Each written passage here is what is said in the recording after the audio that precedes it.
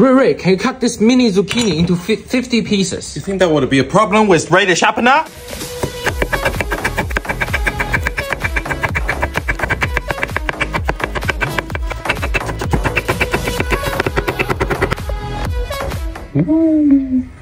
And with the Rui knife, high speed steel, lapis lazuli bunka.